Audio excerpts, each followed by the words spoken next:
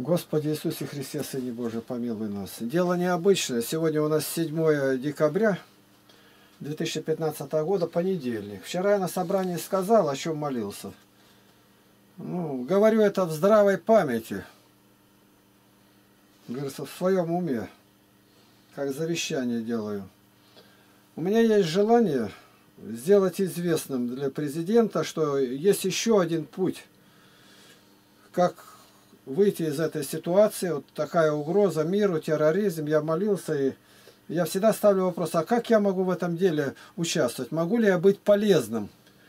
Ну, тем более у меня большой багаж, опыт, мое богатство, мои года, как поется в песне. Вот. И сегодня я написал вот такое послание или письмо. Попрошу прочитать Владимира Александровича Пащенко. А ты просто снимай вот так вот, чтобы видно было. Держи вот так. Я буду держать, давай, считай. Президенту Российской Федерации Путину Владимиру Владимировичу. Прошу вашего согласия и помощи в деле не совсем обычном. Я Лапкин Игнатий Тихонович. Рождение 10 июня 1900, 1939 года. Православный христианин. Проповедник и миссионер с 53 летним стажем работы на Ниве Господней. Иисус Христос позволил мне издать 38 книг в бумажном варианте. Мы проехали с миссией на восток до порта Находки, на запад до Лиссабона, Португалия, пройти почти все государства Европы, Скан Скандинавии, Прибалтику, Турцию, все мусульманские республики. И везде дарили национальные библиотеки свои книги. Великобританию, Ирландию, Шотландию. Прошли более 500 гор городов и районных центров России. Книги эти находятся в Москве, в библиотеке имени Ленина, в парламентской и в исторической. За Слово Божие был репре репрессирован и освободился 25 марта 1987 года. Реабилитирован. Имея огромный опыт работы в тюрьмах, видел обращение от зла к свету закоренелых преступников. Имею большое желание быть полезным в деле, угрожающем всем. Речь веду о терроризме. Если бы мне помогли попасть к тем, кто вигил в Сирии. Знаю, что это грозит смертью. 2 Коринфянам 1 глава 9 стих. Но сами в семье, но сами в себе имели приговор к смерти – для того, чтобы надеяться не на самих себя, но на Бога, воскрешающего мертвых, который избавил нас от столь близкой смерти и избавляет, и на которого надеемся, что еще, что еще избавит, при содействии и вашей молитвы за нас, дабы задарованное нам по ходатайству многих, многие возблагодарили за нас – Слова из Святой Библии бьют тяжелее самых тяжелых снарядов и бомб. От вас нужно разрешение и сопроводительный документ, чтобы пройти таможню России. А дальше, как Богу будет угодно. Псалом 59, 13 стих. «Подай нам помощь в тесноте, ибо защита человеческая суетна».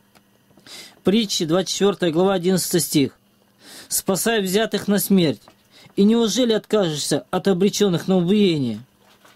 Скажешь ли, вот мы не знали этого, а испытывающийся отца разве не знает? Наблюдающий над душою твоей знает это и воздать человеку по делам его. Мой точный адрес – Россия, индекс 656-056, город Барнаул, 56, улица Ползунова, 6, Лапкин Игнат Тихонович. Телефон 8 961 230 70 60. Стационарный 385 2 в скобках 24 38 46. Наш сайт кисти 1 народ.ру. Ну, понятно. Да, наш Дальше форум. что? Наш форум. Наш форум, наш видеоканал. Здесь около 4 4000 наших видеороликов 07.12.2015 года. Ну вот написал это. Посоветовался со своей братьей. Вчера повестил об этом батюшку. И всех наших попросил молиться об этом деле. Ну, скажет, дурь старику пришла. Так я когда ездил э, за границу, мне писали отовсюду, не ездите, не ездите, там это чеченцы, особенно там головы режут, и вам-то все равно, а этих за собой ведете, погибнут.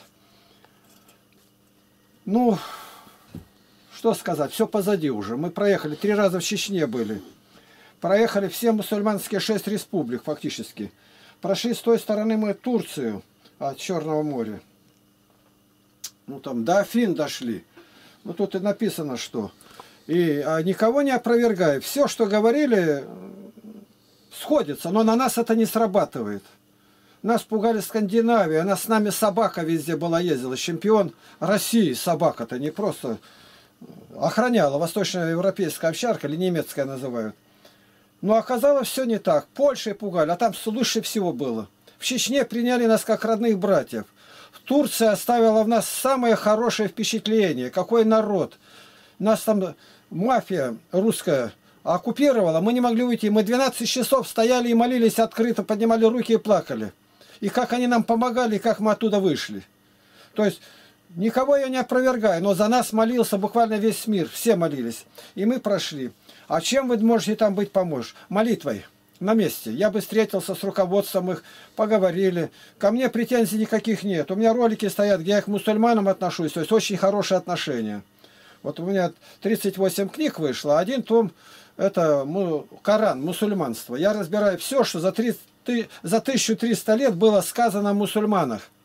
Поэты, э, политические деятели, святые – и Коран разбираю во свете Библии. То есть я знаю, о чем говорить с ним.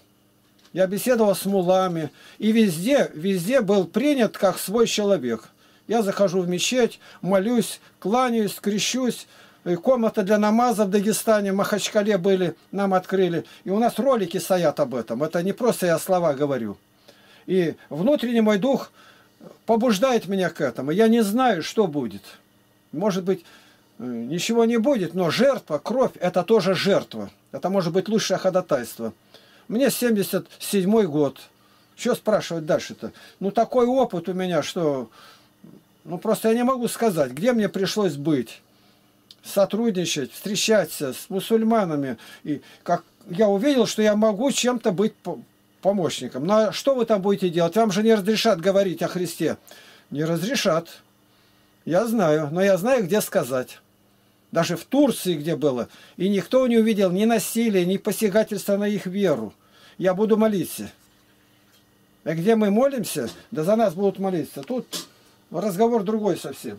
Второе, это точно такой же вот я написал. Это патриарху Московскому и всей Руси Кириллу Гундяеву. Прошу вашего ходатайства и благословения в деле по письму. И дальше письмо. То есть сегодня, я думаю, послать это заказным письмом туда и думал э, министру там Шойгу, но вижу, что не, не, он никакой роли тут не играет. Наконец, вот думаю послать два письма. Вот на твоих глазах я их сейчас подписываю. Письма эти. Число указано 7 и 12.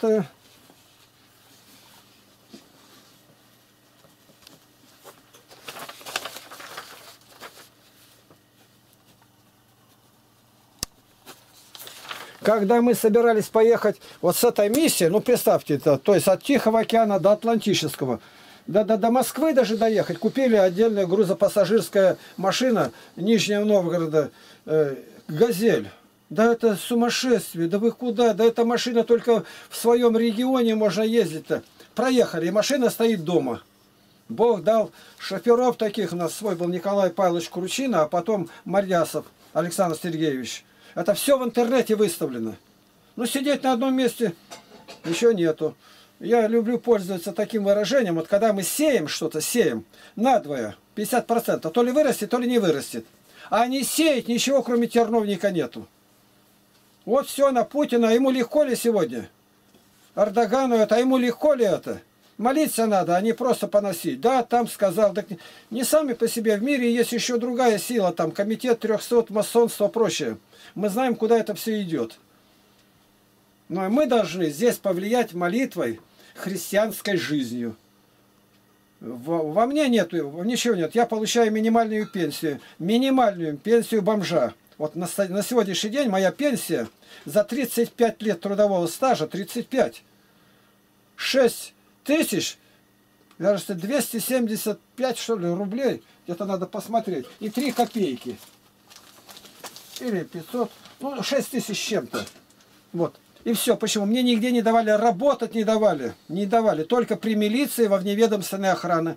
А дальше я где на корабле работал, Латвия, там нигде ничего не найдешь. И поэтому, что спрашивать-то? Заплатить не могу. А как? Не знаю. Не знаю. Вот я расписался. Дальше.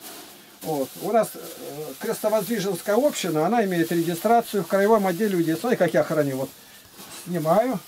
Один мешочек, другой. Для чего? Чтобы не высохла печать. Теперь коробочка снимаю. Вот видите, какой порядок. Вот коробочка как это в мертвых душах. Еще раз снимаю. Вот даже показать только, и то человек скажет, а что ж такое-то, какое дело-то. А он у меня мешочек сохраняет его во влажности. Ну а теперь что? Печать надо открыть. Вот. Вот это наша печать. Сейчас я поставлю печать.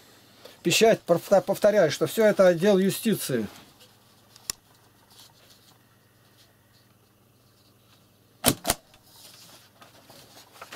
Вот. Смотри. Показать.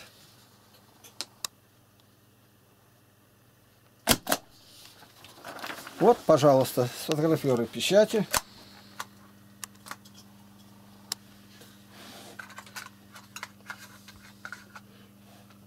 Так. Да благословит Господь. Сейчас я, братья, попрошу, напишу адрес известный где, ну, Кремль, Москва, Путину. Что из этого будет? Сейчас же поставлю этот ролик, и кто будет смотреть его, помолитесь. Я знаю, как скажут, с ума сошел старик. Во-первых, я не старик. Это я что-то не опровергаю, это опровергаю жизнью своей всей. То есть я не сумел состариться. Я все еще делаю то, что делал в 25-30 лет с людьми встречаюсь, бегу, играю на велосипеде, у меня ничего больше нету. Детский лагерь, я начальник детского лагеря, 44 года его основатель. Строим православную деревню с нуля. Тут все можно найти в указанном. Ну а там читать не будут, не знаю. Я тут красным еще подпи... напишу, что самое. Ну тут выделено, самое крупное-то. Вот. Если бы мне помогли попасть к тем, кто в ИГИЛ в Сирии. Ну, ясно, что сошел с ума, надо в дурдом отправлять человека. Ну, может быть, не отправят. Может быть, раньше отправят туда. Если думать, что кто скажет, ну что, ничего и не будет никогда. Это попытка. В первую очередь, у Путина, кто там работает, у патриарха, подумают и скажут, смотри, и так могут сказать, смотри, такой глубинки, какой необычный ход, говорят. Ну а дальше они зайдут, если на наши ресурсы, здесь сайт, они увидят, что это не слова. Когда начинают вот тут то такое попы, там такие, за мной ничего нигде нету. Я судим был. Я прошел в пяти тюрьмах, был в лагере. За мной ничего нет. Меня психиатрия исследовали все, признали совершенно нормальной, годной, и меня судили. Ну, дураков не судят.